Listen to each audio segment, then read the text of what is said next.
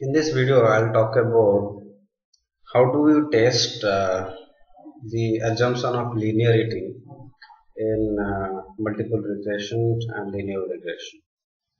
So, what is the assumption of linearity? Well, we assume that the uh, dependent and the independent variables are uh, linearly related.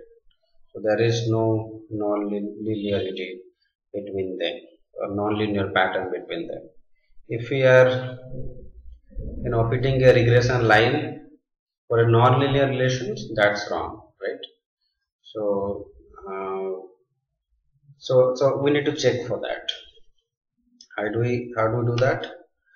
Uh, we can uh, do it graphically.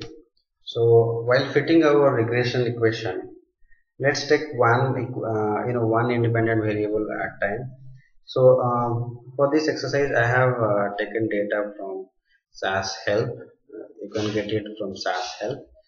Um, so I have variables like horsepower then uh, mileage weight length. So this data set is for different cars okay? And then uh, ignore the last two variables. Uh, so uh, my model is like this. I want to know the impact of horsepower, weight and length on mileage of the car.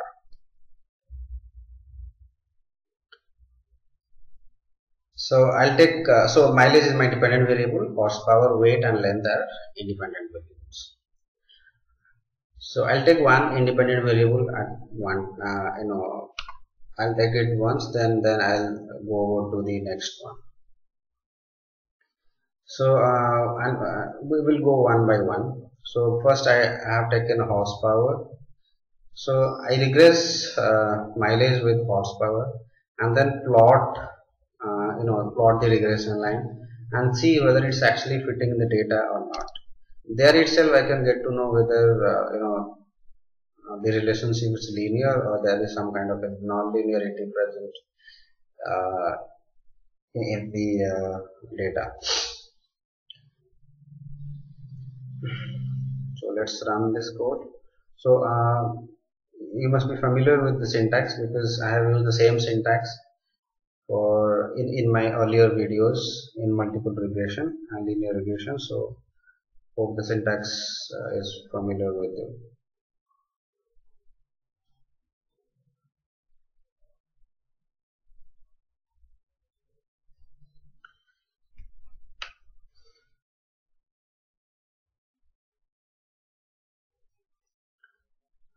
So you have got two plots. First we'll see uh, the plot between dependent and independent variable. As you can see, most part of the data, it's a linear relationship, but there is some kind of nonlinear relationship at the beginning and then at the you know very end.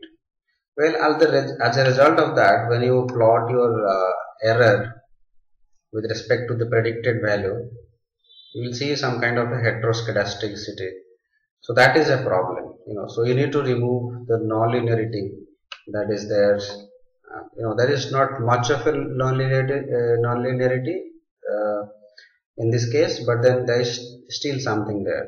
So you can remove these outlier observations and then maybe you can do some uh, variable transformation. I mean you can check logarithm of horsepower or exponential of horsepower or you know do something about it so that you know the uh, relationship becomes more linear in nature.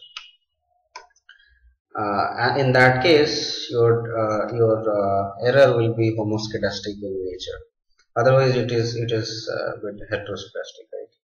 And you go on doing that with other variables also and see if all the independent variables are having the same same kind of relationship or not.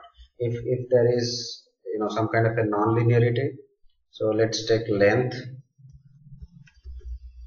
We need to remove the, uh, the non-linearity from the uh, data else it will be problematic